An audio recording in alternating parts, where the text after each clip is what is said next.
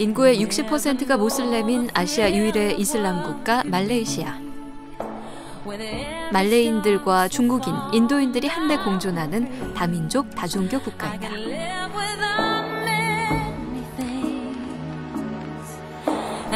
빛 되신 그리스도의 이름을 들고 이 땅을 찾은 행복이 가득한 시온 장로교회 성도들.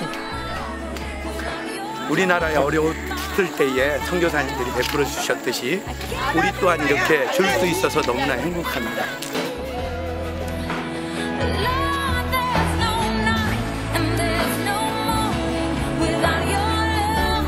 정글 속에서 소외된 채 살아가는 말레이시아의 원주민들에게 복음을 전한 감동의 현장.